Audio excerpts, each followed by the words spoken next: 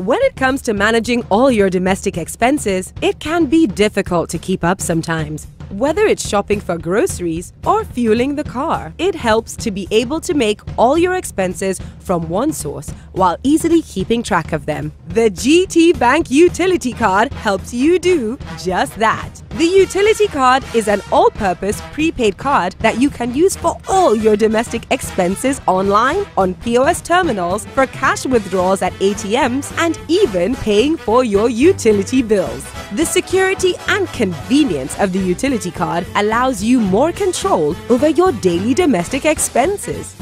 The utility card has a daily loadable limit of 100,000 naira and can carry a maximum of 250,000 naira at any time. To get a utility card, just make a request at your nearest GT Bank branch and you will be issued with one instantly.